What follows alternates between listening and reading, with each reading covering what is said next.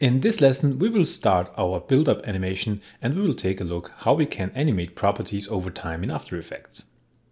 So the first element that I want to animate is actually our circle here. So let's select our circle and our timeline and just for now, let's solo it by clicking our solo switch here. Now I want to turn on my transparency grid that we can see what's going on here. Now let's move our cursor, our time indicator to frame number one. By the way, you can navigate your time indicator to the beginning of a layer by, if I drag it out here now, by pressing I on the keyboard. And if I press O on the keyboard, the time indicator will move to the out point of this layer. So let's press I on the keyboard again with our circle layer selected to move our time indicator to frame 0. On my circle, I want to animate two properties. I want to animate my rotation and my scale. So let's remember our keyboard shortcuts. Let's select the layer and press R on the keyboard to reveal the rotation property. Now I hold down Shift and I press S to add the scale properties. What I want to do now is I want to animate the scale and the rotation over the first 12 frames of our project.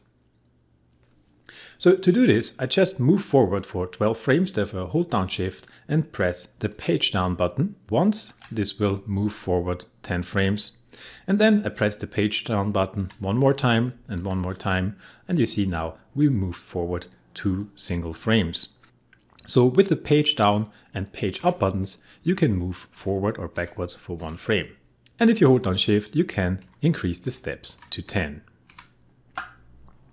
Let's make sure that our time indicator sits on 12 frames and then we can create a keyframe for the scale and we can create a keyframe for the rotation by clicking on these stopwatch icons here. So whenever you see one of these stopwatch icons in After Effects, then this tells you that you can create animations and that you can set keyframes for this property. Now you see that these symbols turned blue and you also see that here keyframes appeared. Now we know, okay, on this layer we have keyframes, so an animation is happening. But right now, of course, nothing is happening because we only have one keyframe, so nothing is changing. Now let's move our time indicator to our endpoint. Let's press I on our keyboard. And let's set the scale to a value of zero. I just click in and type in zero and press enter. And you see what After Effects did. After Effects automatically created a second keyframe here. And our circle disappeared, of course, because now the scale is set to zero. And if I move my time indicator now, you see that the circle is animating or scaling up over time. And this is exactly what I want to do. Be a little bit careful when you activated the time vary stopwatch, as it's called, on a layer. Whenever you change something, after Effects will create a new keyframe. So when my time indicator is here now, let's say around here, and I do any change here with this value, you see that After Effects will create a keyframe automatically. So it will remember all the changes through keyframes. So you have to be a little bit careful and aware of what you are doing when the stopwatch symbol is activated. To delete a keyframe, you can come in here and select it. You can also click and drag to select more keyframes and then simply press delete on your keyboard. Now this keyframe is gone. Let's come back to our endpoint. So let's select the layer again. Let's press I on the keyboard and let's set a rotation value. In my case, I want to rotate it for 360 degrees. So I want to set this here to minus one. And then you see that our circle will spin in over 12 frames and scale up. So this is our first animation. Now what I want to do is I want to solo my text layers. So let's click the solo switch for our two text layers and then they are visible. What I want to achieve now is that my text layers rotate with my circle layer. And therefore we will use a technique that's called parenting. Parenting can be very useful and you can achieve really cool things with parenting. You see that right here in this panel we have the parent option. If this is not visible, then you can toggle the switches down here. Maybe it looks a little bit different in your layout, but you can press these toggle modes here, toggle switches, and then everything should appear. The keyboard shortcut for these changes is F4, so you can toggle between different settings in here.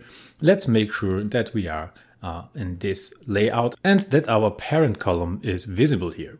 If the parent column is not visible in either of these modes, so if you press F4 and the parent column is not visible in any of these settings, then you can come up here, you can right click and then you can choose the columns. You see that there are a few columns that are not visible right now. Make sure that the parent column is visible. Now what we want to do is we want to position our time indicator exactly on the second keyframe here. You can do this by clicking these little arrows here. You see now I can click and then After Effects will move the time indicator to my last keyframe. And you see that if these are blue, then it means, okay, you are now exactly on a position where a keyframe is set. And if I click here one more time, you see that After Effects will jump to our first keyframe. You can navigate through your keyframes using these small errors, You can also use a keyboard shortcut and the keyboard shortcut is the J key for the previous keyframe and K for the next keyframe. So let's jump to our second keyframe here. And what we want to do now is we want to parent our two text layers to our circle. To parent layers, you simply click on this little icon here left click and hold and now drag this icon to our circle layer. And now you see that After Effects shows us, okay, this layer is parented to our layer number four with the name circle. So let's do the same for our first text layer and let's select the pick whip tool as it's called, click and drag and select our circle layer. What this did now, it made our text layers a child of our circle layer. So they will move with my circle layer. They will take over the scale properties and they will take over the rotation properties and the position properties. Whatever you change on the circle layer will affect these two layers as well. And if we take a look now and take our time indicator, you see that now these layers are scaling and rotating together with our circle layer. And we didn't even have to add keyframes to them. Okay, so far so good. We created our first simple animation. Now let's animate a few more elements. Let's unsolo all these layers that everything is visible again. And now what I want to do is I want to hide my circle layer. I want to hide my two text layers because they are already animated. And I also want to hide my brush layer and my splatter video layer because these are also already animated. And I only want to have these uh, layers visible that are not animated yet, and we will create quick animations for these. So first of all, let's take a look at our watercolor stain 1 PSD. Let's press I on our keyboard to jump to the in point of our layer. And now let's press S on the keyboard to get our scale property. Now I want to animate the scale here. So let's say this should scale up pretty fast, don't know, maybe 10 frames. So let's hold down shift and let's press the page down key to move forward for 10 frames. And now let's set a keyframe here by clicking this stopwatch icon. Let's press I on our keyboard to jump back to frame zero and let's type in zero into our scale options here. And now you see we have this small or quick scaling. Now let's move down to our watercolor stain number two. Let's press S on our keyboard to reveal the scale properties. And let's move in for 10 frames, hold down shift, page down, and then set a keyframe for the scale property here. Press I on the keyboard to jump back to the in point and set this to zero. And now you see we created two more animations. But what I don't like now is that these are scaling together. So I want the watercolor stain number two to scale up first, and then I want watercolor stain number one to come in. So what we can do now is we can shift our keyframes a bit. So let's zoom in here a little bit. And now let's select the keyframes on our watercolor stain layer by simply clicking in here into this area and dragging. Now you can select all the keyframes. Now we can take one of the keyframes click and drag it out. So let's say we want to move this forward for two frames approximately. And let's take a look what this does now. And you see now the first stain is scaling in and then the second one is following. And what I want to do now as well is I want to set the in point of our layer to my first keyframe. So let's select our watercolor stain one layer. Let's press K on our keyboard that our time indicator moves to the first keyframe. Now we can come in here to the in point and you see that now the mouse cursor and you see that now the cursor changes and now I can click and hold and drag and just move my in point right here just that I know that this layer will start animating right here. Now, if I want to hide the keyframes again, I could either come in here and click this little triangle, this little arrow, or you can also select the layer and press U on your keyboard. U is the shortcut to reveal or to hide all keyframes on one layer. So if I select my circle and press U, you see that After Effects displays both keyframes, both values or properties that have been animated. If you press U again, it will close the layer.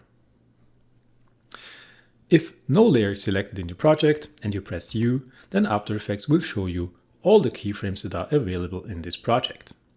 Let's press U again to close this down. Now let's make sure that we enable our circle and that we enable our two text layers, make them visible again by clicking the eye swatches. And now let's take a look by clicking and dragging on our time indicator and you see everything is now scaling up. What I do not like now is that these two paint splatters scale up at the same time as my circle. And I want the circle to come in first. So what we can do now is we can take our two layers by simply selecting the first one, hold down Control and select the second one. And now let's say we want to move them forward for, I don't know, two or three frames. So let's click and drag. And let's move them forward, let's say for three frames for now. And now you see my circle is scaling and then these come in a little bit later. Okay, so far so good. Now let's animate our last element here and this is the After Effects logo. What I want to do with the logo here, I want it to animate in from this side. So it should travel in here and maybe also rotate while it's coming in here.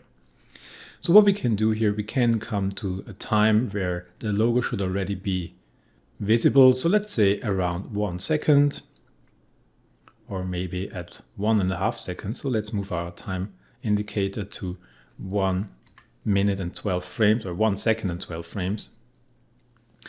And let's select our After Effects logo layer. Let's press P for position Let's press Shift and R for rotation and let's set keyframes right on 1 second and 12 frames for the position and for the rotation. Now let's say I want this to start animating when all the other things are revealed and I will need some more time after these elements set because I also want to animate in the brush and the splatter. So let's say at around one second, I will start the animation for our logo. We can come in here and shift the keyframes any time. So let's select our layer here and drag it out. And you see that After Effects now creates this animation path. And if you hold down Shift, it will constrain it to one of the axes. In this case, I want to constrain it on the x-axis. So let's drag it out here just that it is not visible in our screen anymore or in our uh, composition. And let's let the mouse button go.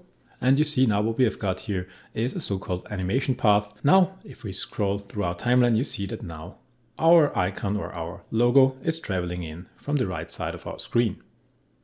To make this a little bit more interesting, I also want to add a rotation. Let's say I want this to rotate in mm, maybe one full rotation. So I come to my first keyframe here and I set this to, let's say, one full rotation.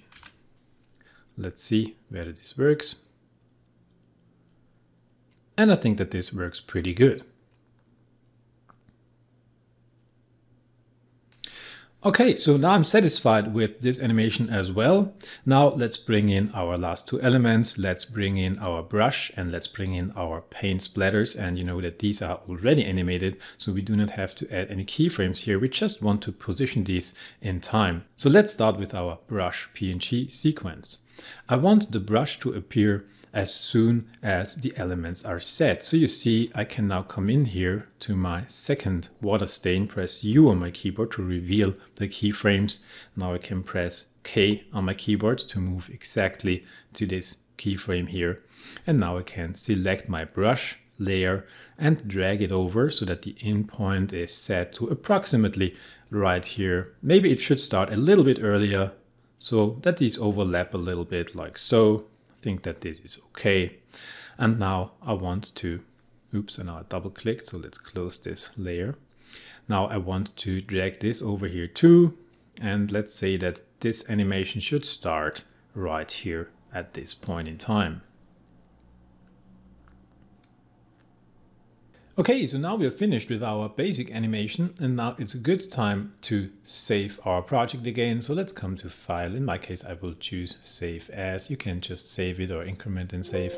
And I want to override my project number seven right here and click save. Okay, override it, that's good.